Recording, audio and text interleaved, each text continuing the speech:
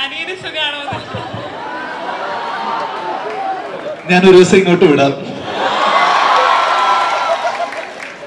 ഞാൻ വിട്ടാവൻ വരുന്ന പോലെ. വിനിതേട്ടാ കഴിഞ്ഞ ദിവസം ഇടവേള ബാബുച്ചേന്റെ ഒരു കമന്റ് ഉണ്ടായിരുന്നു. അതിനെ അതിനെ കുറിച്ച് എന്തായി വിനിതേട്ട അഭിപ്രായം?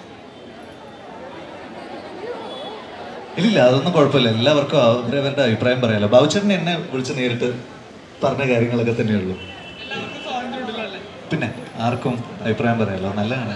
നമ്മുടെ സിനിമയെ പറ്റി ഒരു ഡിസ്കഷൻ നടക്കുന്നുണ്ടല്ലോ. സന്തോഷമുള്ള കാര്യമാണ്